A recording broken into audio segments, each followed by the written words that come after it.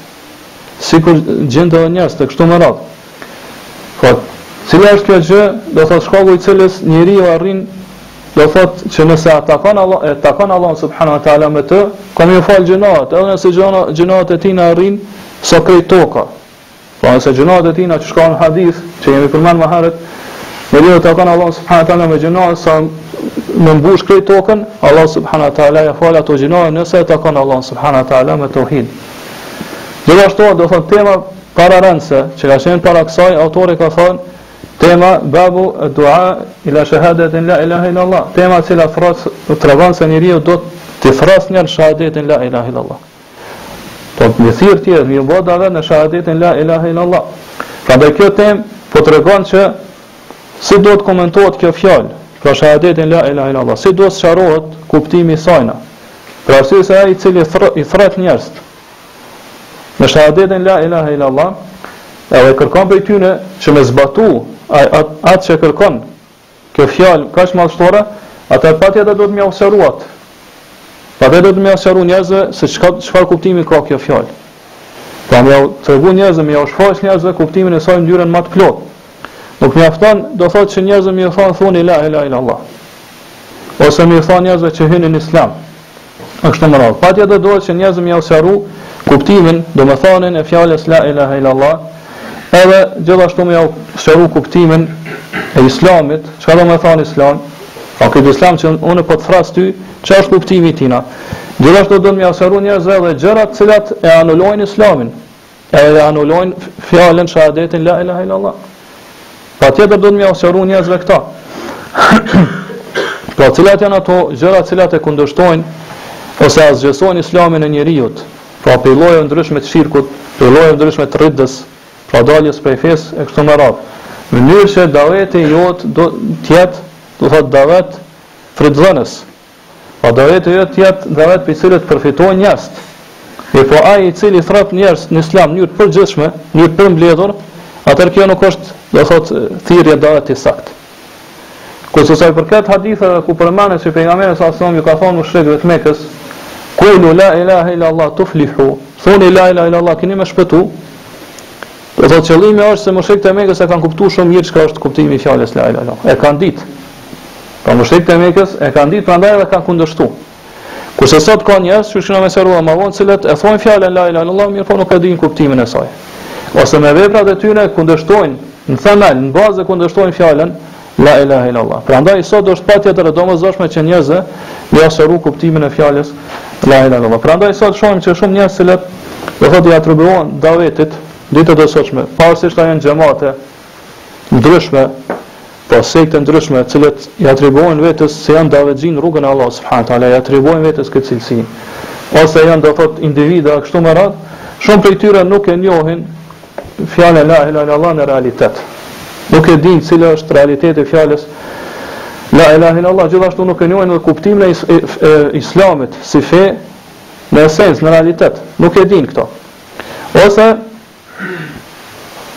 Nuk i njohin edhe gjërat të cilat e anulojnë apo e asgjësojnë islamin.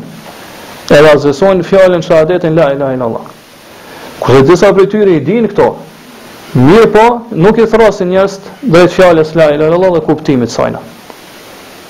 Pse? Se thonë nëse ti i thrret njerëzit në shahadetin la ilaha illallah dhe n'atë çka kërkon kjo fjalë, atëherë kanë me t'u largu njerëzit prej teje. Edhe ke me bë përçarje mes njerëzve. Kurse qëllimi jem është ka m'i bashku njerëzit, m'i tubu njerëzit. Mirëpo n'çka po do m'i bashku ti njerëzit? Do thotë në xhahiliet, në injorancë, ashtu siç kanë qenë para Islamit. Po Islami ka ardhur, ai i cili pejgamberi sa thon ka ardhur, ky Kur'an ka ardhur që m'i përça njerëzit në pasues të vërtetës e në pasues të kotës. Prandaj ti nëse nuk i thrret njerëzit në këtë vërtetë, cilën ka thirrë pejgamberi sa thon. Po cilën, po cilën ka zbritur edhe Kur'ani, Atëherë në çka po don që m'i bashku njerëzit? A po don m'i bashku në injorancë? A po don m'i bashku në dalalet, në humbje? Atëherë kjo nuk është bashkim. Kjo në esencë është përçarje e njerëzve. Pra kështu ka pretendojnë disa prej tyre. Pra patjetër që njeriu kur të thrret dikon, në diçka duhet me ia sqaru ato. Pa dyshim nëse e thrret njerin në islam, edhe duhet me ia sqaru çka është islami.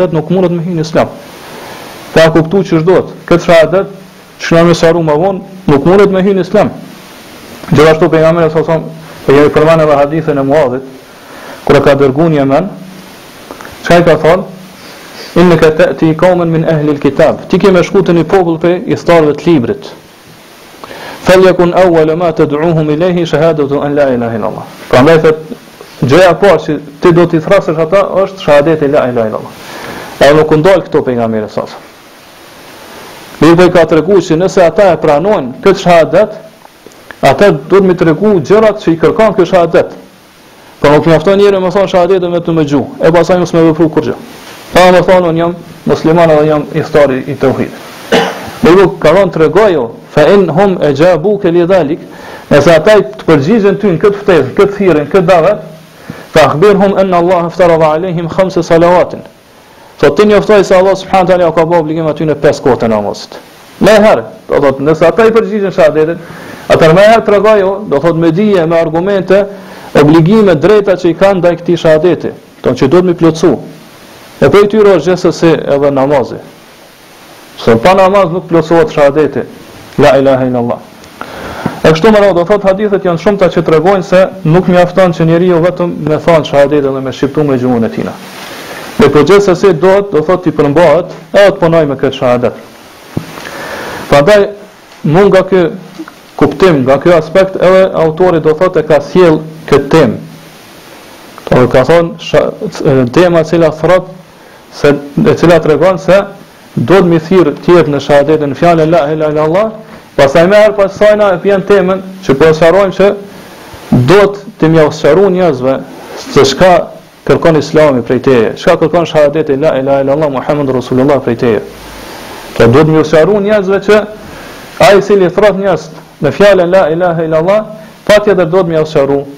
këtë fjalë. Patjetër duhet me ua mësu njerëzve tauhidin.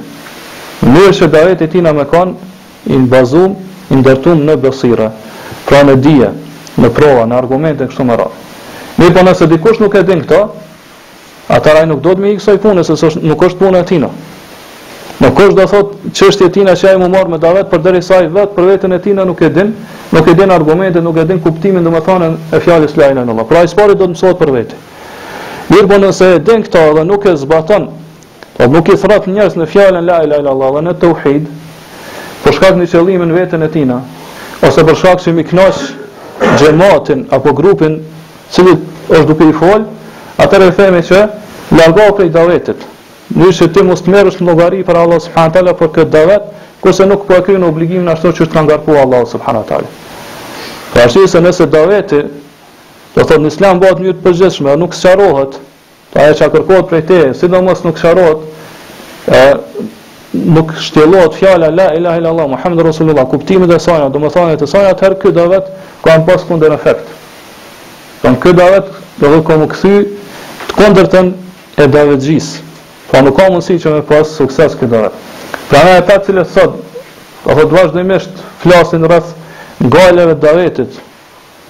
Qysh i dëgjojmë që e kanë gajlet e davetit, e brengat e davetit, e kështu me radhë, dhe vazhdimisht do thotë, na i lodhin veshët me këto fjalë, shumë prej tyre nuk e din kuptimin e fjalës la ilaha illallah muhammedur rasulullah. Nuk e din kuptimin e saj. Pra mos ju vjen çudi se shumë prej tyre nuk e din domethënien e fjalës la ilaha illallah muhammedur rasulullah. Edhe nuk e din obligimet që i ka davetxhia.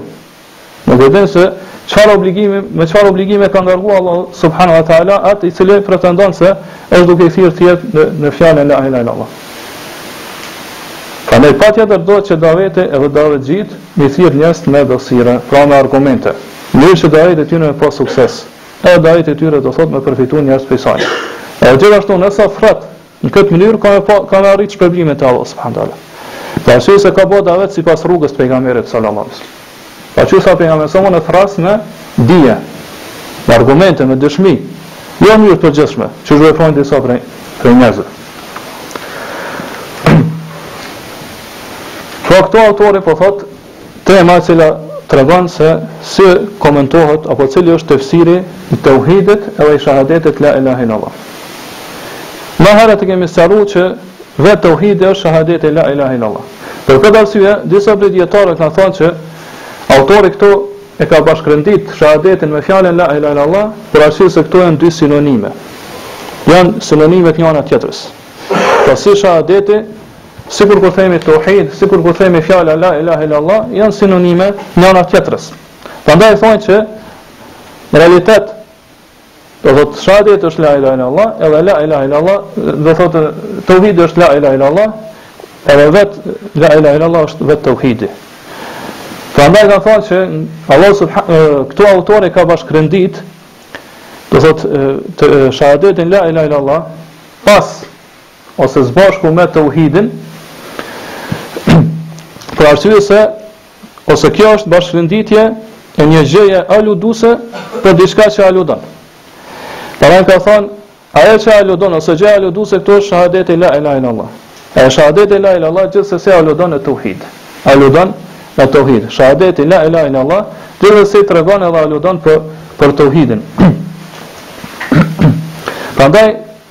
Autori këtu i ka bashku këto dy gjëra. Do të thotë tema, komentimi ose tefsiri i tauhidit edhe i fjalës la ilaha illallah për me tregu se edhe pse këto janë dy shprehje, do të thotë ndryshme, mirëpo kuptimi i tyre është i njëjtë. Kuptimi i tyre është i njëjtë. Pra këto janë dy gjëra të njëjta. Prandaj këta dijetarë kanë thënë që qëllimi është me me me me tauhidin këtu kur përmend autori që komentim kjo është temë e cila flet rreth komentimit ose tefsirit të tauhidit pra me tregu që Allah subhanahu wa taala është një është unik në uluhijen e tina pra në adhurimin e tina po nuk e meriton askush tjetër me u adhuru përveç Allahut subhanahu wa taala kështu kanë thënë disa dijetarë kurse disa dijetarë thonë që nga aspekti i sinonimisë do të nuk mundi nuk mundi me thonë që këto dy gjëra janë sinonime të njëra-tjetrës pse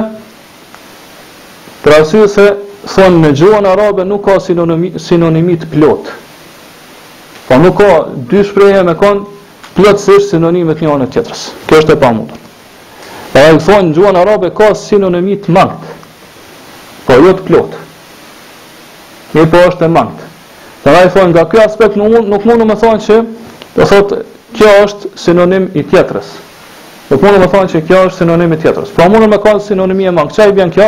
Do thotë që dy shprehje, dy shprehje me i përngjasu njëna-tjetrës, mirëpo jo në gjithë, në gjithë kuptimin, ose në gjitha kuptimet edhe domethëniet e sajna. Mirëpo në disa prej tyre.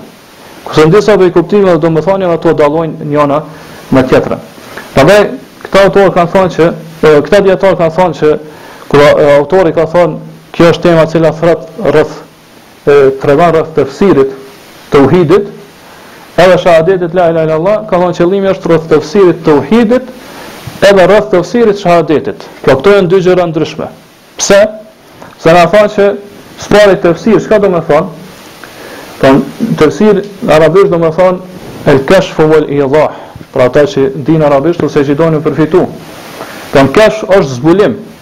me zbulu diçka, kurse idha është me qit diçka me shfaq diçka. Prandaj në, në gjuhën arabe thuhet feseret eth-themeretu kishreha. Do të fryti e ka largu atë lëvoren e sajna. Domethënë kjo përdoret fjala te, fjala tefsir. Pra, ajo është shfaq. Po edhe ashtu thonë, fesertu theubi e kom ba tefsir robën time, qëllimi është e kom largu edhe është pa ajo që është pas robës. Domethënë jam zbulu, unë jam shfaq. E është pa ajo çka është, po prej kësaj është marrë edhe tefsiri i Kur'anit, apo edhe tefsiri në përgjithësi, do thot me shfaq edhe me sqaru diçka. Prandaj kanë thënë këta dijetarë që më herët e kemi përmend se tauhidi çka është? Po tauhidi është me besu njeriu se Allah subhanahu wa taala është unik, është një në rububien e tina, pra në zotrimin e tina, nuk ka ortak Allah subhanahu wa taala.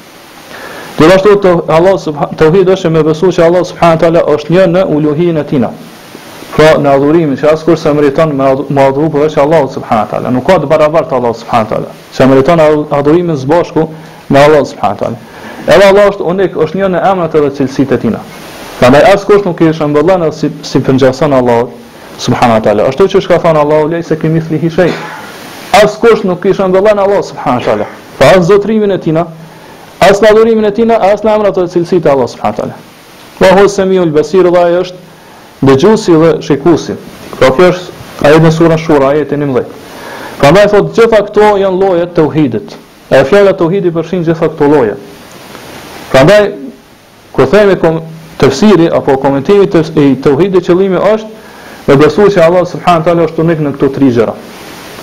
Në këto tri gjëra. Mirëpo, besoj që do thot disa prej juve edhe ju ka shku n'mend pytja, Pse autori e ka pru këtë temë? Kur dihet që n'fillim të librit, autori ka thonë kitabu teuhid, libri i teuhidit, edhe pastaj ka pru ajete të shumta që tregojnë se çka është teuhidi. Pra qysh n'fillim të librit, autori ka sjell ajete që tregojnë se çka është domethanja e teuhidit. Prej atyre ajeteve, për shembull është ajeti n'suren Isra, ku Allah subhanahu teala thot, wa kada rabbuke ella tabudu illa ijah. Zoti yt ka gjyku, ka vendosë, që nuk mos nuk ju lejohet me adhuru dikon tjetër përveç tij, ose adhurone vetëm atë. Edhe ajetet e tjera që janë zbashku me këtë ajet, gjithashtu edhe temat që ka që kanë ardhur pas pastaj pas fillimit të librit tregojnë këto janë sqarimi i tauhidit. Atëherë pse do thotë çka e shtyri autorin që me sjell këtë temë, ku thotë se kjo temë tregon rreth tefsirit të tauhidit, pra çka është kuptimi i tauhidit e kështu me radhë. Si do të sqarohet tauhidi? Qëllimi është se autori n'këtë temë sjell disa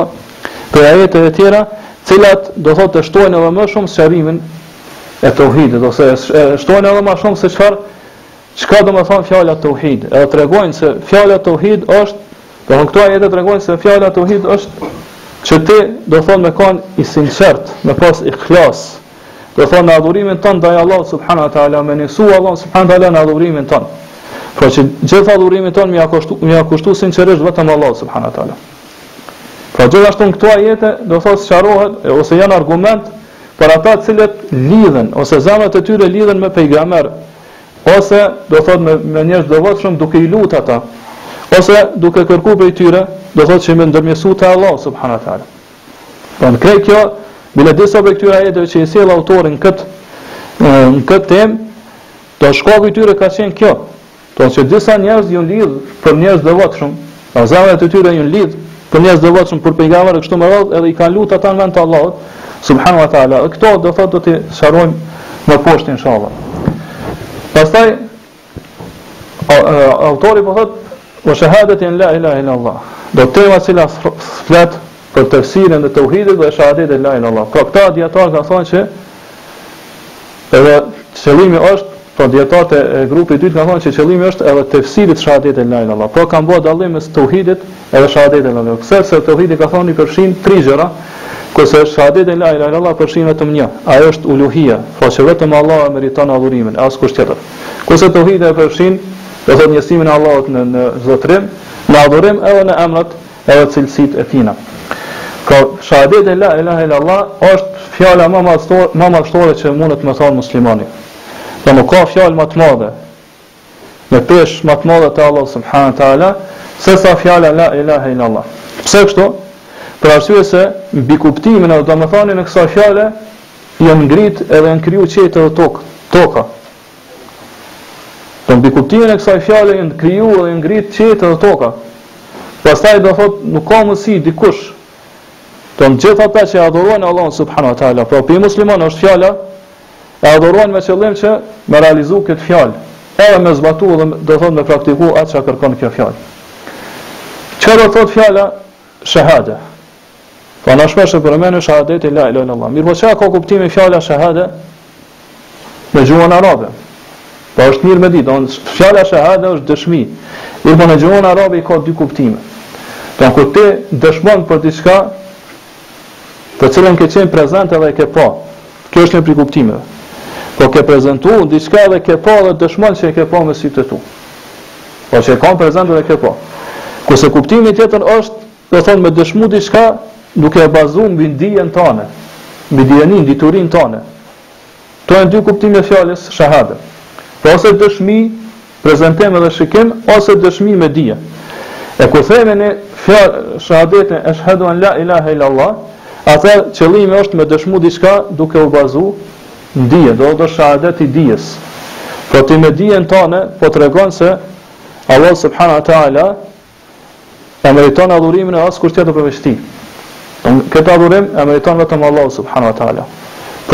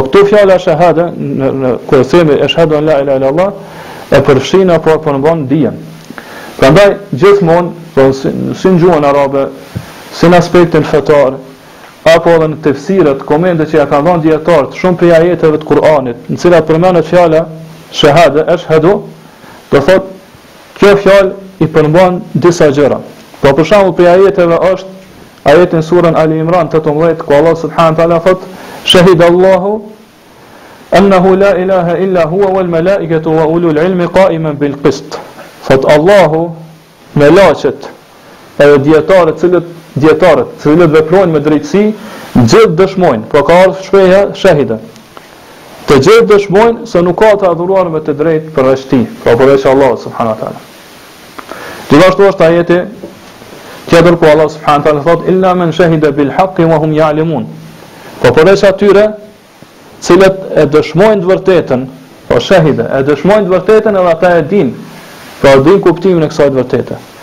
Pra në këto ajete dijetarët kanë thonë që kuptimi i fjalës shahade, shahadet, i, i ka tri kuptime, ose i përfshin tri gjëra.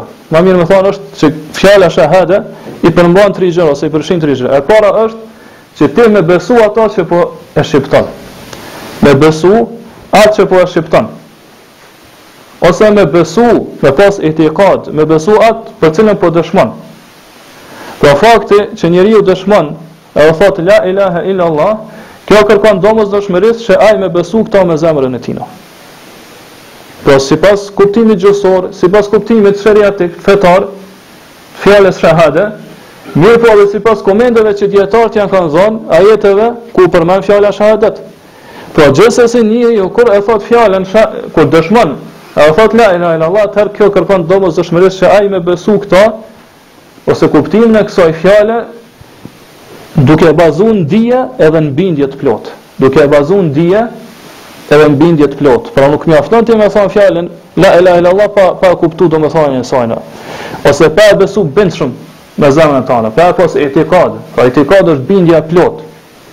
Pra nuk ka mundësi me pas etikad pa pas pa pas dije edhe bindje të plotë rreth rreth asaj gjëje të cilën ti po e beson.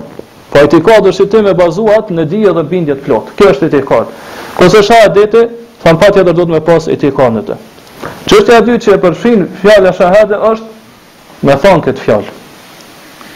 Pra e para kemi me besu, para se me thonë, me besu bindshëm, me ditë kuptimin e sajna, do me thonë, e sajna dhe dyta është, me thonë, me shpreh këtë fjalë. Pra shahadeti ashtu siç kërkon që njeriu me besu ato bindshëm me zemrën e tina, me bindje t'plot, gjithashtu kërkon që njeriu me shpallë ato. Po kjo është shahade, që ti me shpallë ato dhe me thonë. E treta është, Që ti me i njoftu tjetër me këtë. Pra me thanë me gjuhën tane, me shqiptu me gjuhën tane, edhe me i njoftu tjetër. Kjo është nga aspekti i obligushmërisë. Pra njeriu nuk konsiderohet që ka dëshmu edhe ka thanë shahade,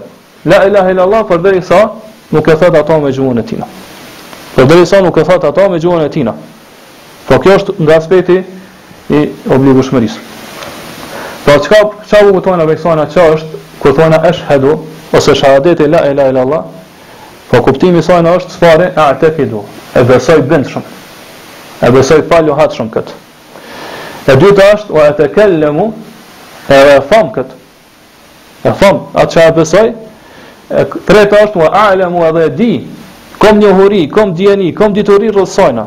Po nuk e thom këto veç hajt me gjuhën time. Mirëpo e di kuptimin edhe domethënien e sajna.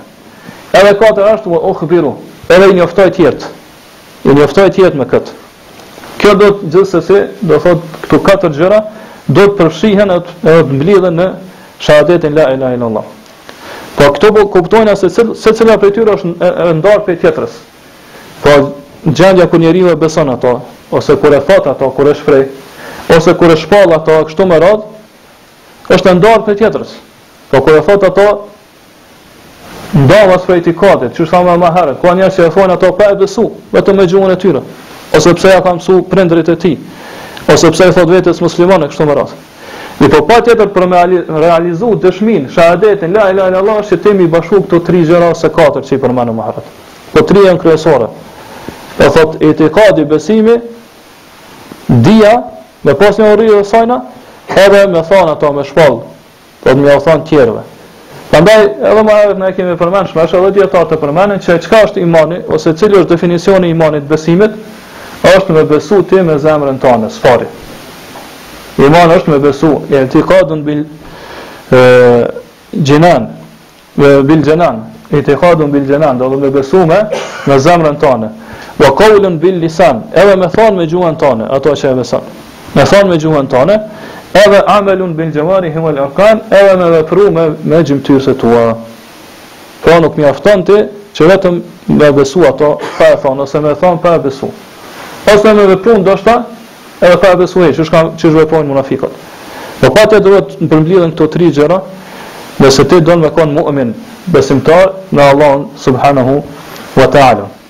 Prandaj, njëtën e vepron edhe autori në këtë temë, kur e sqaron se çka është teuhidi. Pra autori këtu po sqaron që teuhidi nuk është një emër pa kurfar kuptimi. Nuk është teuhidi emër që nuk ka kurfar domethanie. Gjithashtu nuk është teuhidi fjalë, thënje, e cila nuk ka realitet, nuk ka esencë. Siç menojnë disa prej injorantëve, të cilët menojnë se kulminacioni i realizimit të teuhidit është që njeriu me shqiptu shehadetin. pa e besu me zemrën e tina, asnjë prej kuptimeve apo domethënieve të kësaj fjale. Kurse disa prej të mençurve të tyre, do të prej këtyre më të mençurit prej këtyre njerëzve, e kuptojnë që shahadeti la ilaha illallah është që siç kemi me sqaru edhe ma vonë që fjala ilah ka kuptimin që Allahu është krijues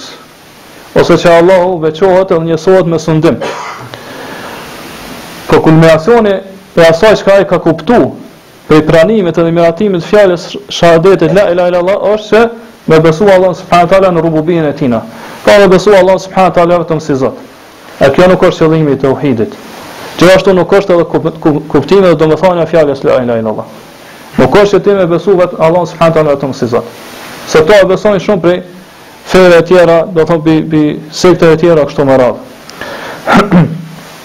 Edhe pse patjetër siç e thamë ma herët, tauhidi nuk qëndron edhe pa këtë pjesë. Po pa besu se Allahu subhanahu wa taala është unik, është i vetëm në në zotrimin e tij. Mirëpo tauhidi si tauhid ka kuptim më më të madh, ka kuptim madhështor. Pra në thënia e tauhidit, do të thotë kuptimi i saj është ose domethënia e saj është domethënia më madhësore e cila e përfshin gjitha kuptimet edhe domethëniet e tjera. Po çka është në përmbledhtas kuptimi i tauhidit, edhe pse kena ose fjalës shahadet e la ilaha illallah, edhe pse kena me sqaru inshallah më shumë, është që ti mu distancu ose me shfajsu veten tonde për adhurimin çdokujt tjetër përveç Allah subhanahu wa taala. Prej ndërmjetësave,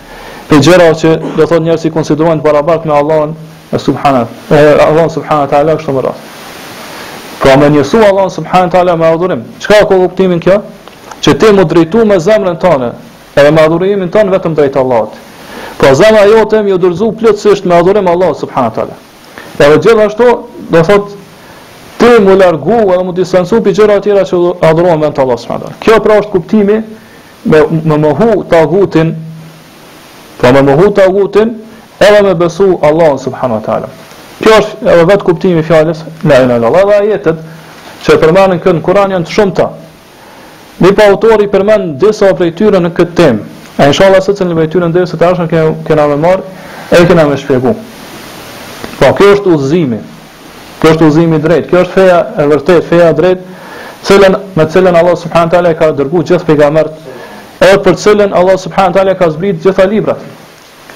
Kurse sa i përket personit i cili e thotë fjalën la ilaha illa allah, pa e njoftë kuptimin, domethënien e saj, ose pa vepru me fjalën la ilaha illa allah. ose pretendon se ai është prej ithtarëve të teuhidit, mirëpo nuk e njeh teuhidin, ndoshta vepron edhe ma keq, do thotë, atë adhurimet e tina ja kushton dikujt tjetër përveç Allahut, pra e, e lut dikon tjetër përveç Allahut, apo friksohet prej dikujt tjetër përveç Allahut, e shpreson dikon tjetër përveç Allahut, apo pendohet dhe kthehet me pendim të sinqertë te dikush tjetër përveç Allahut, kthehet për dikon tjetër përveç Allahut, edhe lloje të tjera të adhurimit, atëherë themi që kjo nuk mjafton, madje personi i këtillë në këtë gjendje është mushrik, nuk është prej ithtarëve të tauhidit. pra, siç e gjejmë që kjo është gjendja shumë prej adhuruesve të varreve, shumë prej adhuruesve të varreve. Pastaj